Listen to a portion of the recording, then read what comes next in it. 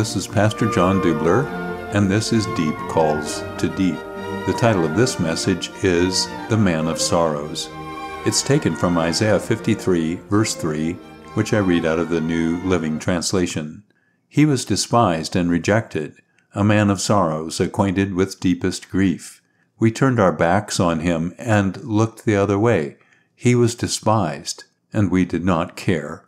This prophecy, penned by the prophet Isaiah more than 650 years before the birth of Jesus, perfectly describes the nature of Jesus' suffering and the response of his generation, and sadly, many in our generation too. We turned our backs on him and looked the other way.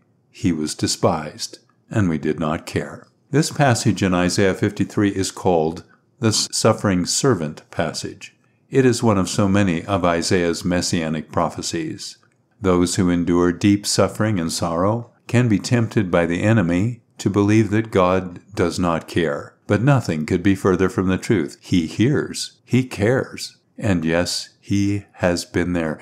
Jesus is acquainted with grief. I like the phrase acquainted with grief. Acquaintances are not best friends but we recognize and sometimes work with and have daily contact with our acquaintances. Grief is like that. We grieve often, but our best friend is the joy of the Lord, and that joy is our strength. This has been Deep Calls to Deep, and I am Pastor John Dubler.